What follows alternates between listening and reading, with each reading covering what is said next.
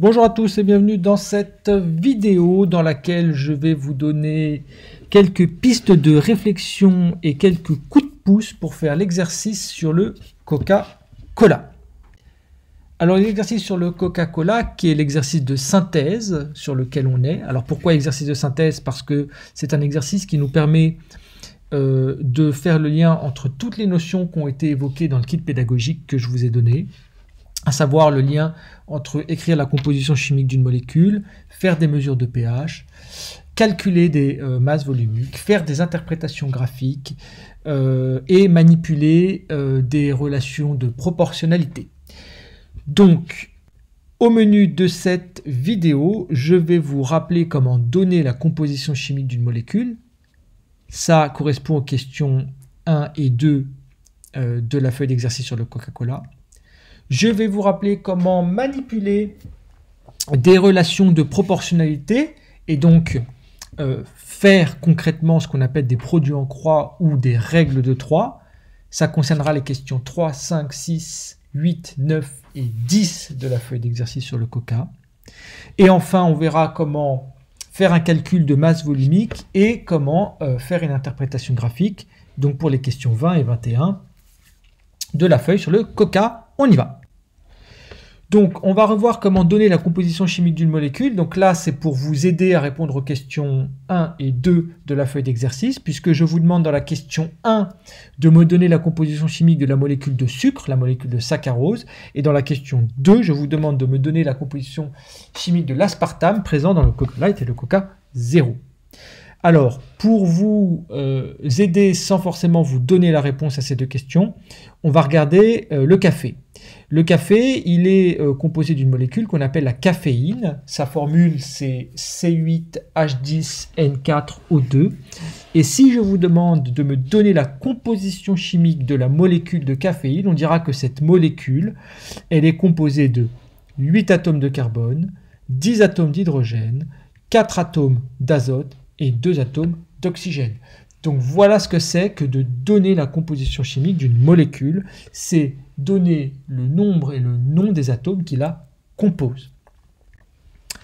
Le deuxième point pour vous aider à faire cette feuille d'exercice de synthèse sur le euh, Coca-Cola, c'est la proportionnalité et la mise en œuvre d'un produit en croix qu'on appelle aussi une règle de 3. Ça correspond aux questions 3, 5, 6, 8, 9 et 10 de la feuille d'exercice de synthèse sur le Coca. On fait d'abord un bref rappel mathématique et ensuite je vais volontairement répondre à la question 3 pour vous montrer comment conduire le raisonnement qu'il faudra ensuite reproduire sur les questions 5, 6, 8, 9 et 10.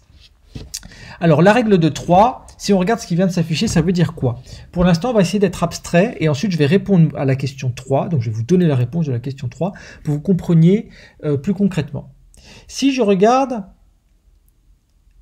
un objet A et qu'à cet objet A correspond B. Ok. Je veux savoir qu'est-ce qui correspond à C? Je cherche le point d'interrogation. Si j'arrive à dire ça, alors là pour l'instant c'est volontairement abstrait, ça va devenir plus concret. Si j'arrive à écrire ça, le point d'interrogation c'est un produit en croix. Pour le résoudre, je vais faire C fois B divisé par A. Alors maintenant que j'ai donné la version mathématique qui est absolument euh, chiante à comprendre, on va essayer d'être concret avec euh, une application physique. Donc si je regarde la question numéro 3, on vous demande à l'aide du document 2 que je vous affiche de calculer le nombre de morceaux de sucre qu'il y a dans 100 ml de coca. Et je vous dis que ce nombre, on va le noter n, pourquoi pas. Et je vous rappelle aussi que 100 ml, c'est 10 centilitres. Alors le document 2 qui vient de s'afficher, c'est une canette de coca de 33 centilitres. Ok. Et on sait que dans cette canette de coca, il y a 7 morceaux. Donc tout à l'heure, quand je vous disais que A correspond à B, ben là, c'est la canette de coca de 33 centilitres correspond à 7 morceaux de sucre donc je l'écris, mes 33 centilitres de coca correspondent à 7 morceaux de sucre.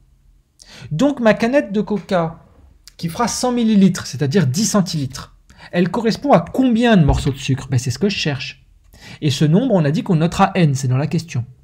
Donc à partir du moment où vous arrivez à écrire ce tableau de correspondance, cette loi de correspondance, 33 millilitres correspondent à 7 morceaux de sucre, 10 centilitres, ça correspond à combien de morceaux de sucre? Et eh ben, on peut calculer ce combien de morceaux de sucre.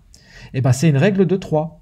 C'est 10 centilitres fois 7 morceaux divisé par 33 centilitres. Vous faites le calcul, vous trouvez que il y a 2,12 morceaux de sucre dans 10 centilitres de coca. J'ai fait une règle de 3. J'ai réussi à faire une correspondance entre deux éléments.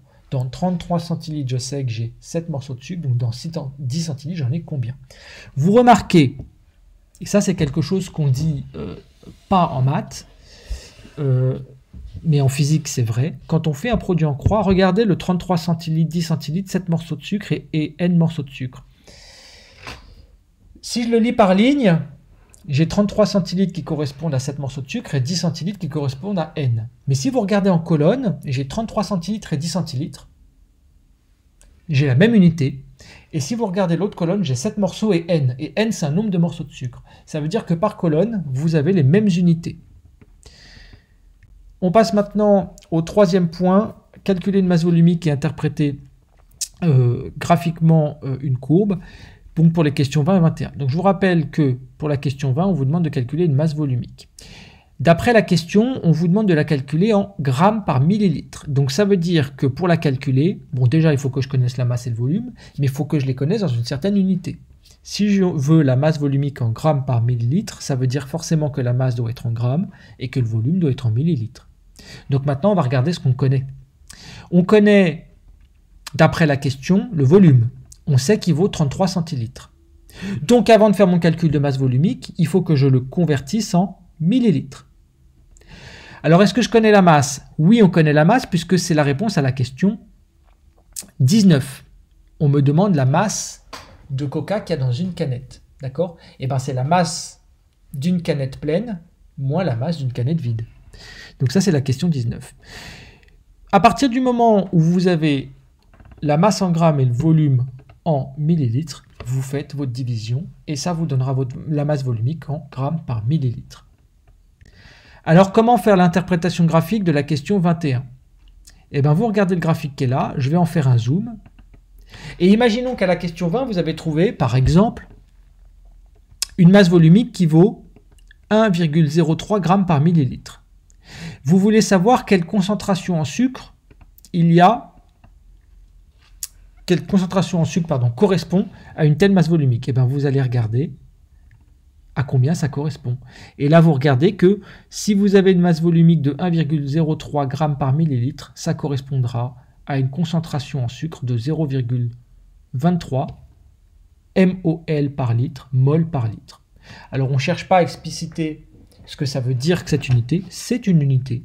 On ne sait pas forcément ce qu'elle représente et on s'en fout. La seule chose, c'est qu'il faut la noter parce qu'en physique, tous les résultats ont une unité. On verra plus tard, euh, et euh, même beaucoup plus tard, au lycée, ce que les moles par litre, ça signifie. J'espère que cette vidéo vous aura euh, permis de débloquer un certain nombre de points pour pouvoir faire la feuille d'exercice sur le coca. N'hésitez pas à la revoir ou à me poser des questions par message si vous avez d'autres soucis. Bonne révision